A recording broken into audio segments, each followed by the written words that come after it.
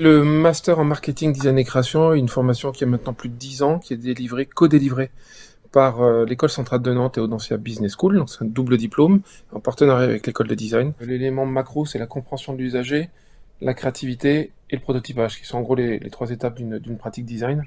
Donc sur toute la partie amont, compréhension de l'usager, comportement du consommateur, études anthropo ou ethno, euh, ça va être plutôt à Audencia.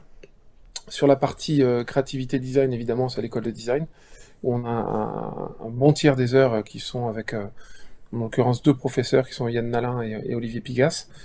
Euh, et puis sur toute la partie développement pur, là, là c'est Central qui prend le lead. Hein. On vient tous de milieux assez différents. Il peut y avoir aussi bien des, designers que des gens issus d'écoles de commerce ou des ingénieurs. Donc on n'a pas forcément les mêmes compétences en rentrant dans le master.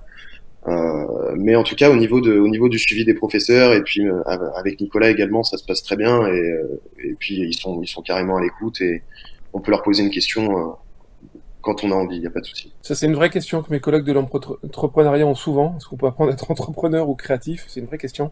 Euh, nous, on a la conviction que c'est le faire qui fait la, la, bascule. La charge de travail est conséquente. Euh, par contre, voilà, c'est une charge de travail qu'on aime faire. C'est des projets très concrets. Et, euh, et oui, c'est ça la, la, conclusion en fait, c'est que vraiment on aime les projets qu'on fait et on se rend même plus compte du travail qu'on a à faire puisque puisqu'on est plongé dedans et que et que ça nous motive en tout cas. Concrètement, il y a deux branches de sortie euh, majeures. Il y a le conseiller en innovation en design d'un côté, et puis après des postes de euh, responsable marketing ou responsable innovation ou développement au sein euh, des entreprises. Donc on a on a quelques boîtes de conseil qui nous suivent depuis quelques temps, qui sont très proches.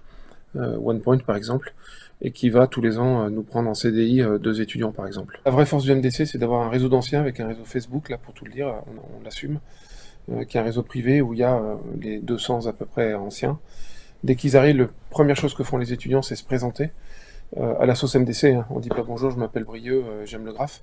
il faut le faire, faire une vidéo. Non, ça marche pas et vous allez vous faire shooter si vous faites ça. Soyez curieux, évitez l'autocensure à tout prix si vous pensez euh, voilà avoir une touche une touche de créativité euh, que vous pouvez apporter au MDC euh, foncez et, je pense que je pense que beaucoup de profils ont leur place dans cette formation et c'est ce qui fait aujourd'hui la force du MDC. Moi, je voudrais juste souligner que c'est un master qui est exigeant, ou dans lequel on met les gens sous cloche. on les met en groupe, on les fait travailler sur des vrais projets, avec des gens qui sont très très très seniors dans les entreprises, qui s'engagent beaucoup. Léonard nous suit de manière extrêmement régulière.